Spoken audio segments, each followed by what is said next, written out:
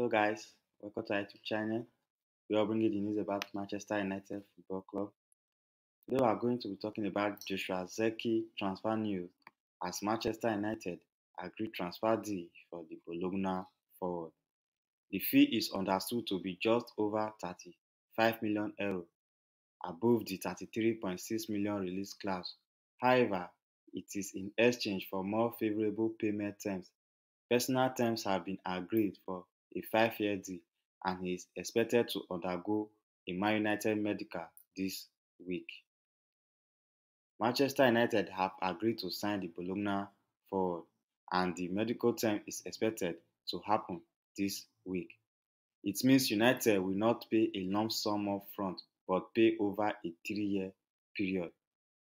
The 23-year-old scored 12 goals and registered 7 assists as Bologna qualified for the Champions League this summer. Zeki Zexi is expected to have a medical this week before signing a five-year contract with the option of a further year. Thank you guys for watching this video. Please kindly subscribe to our YouTube channel and also like this video.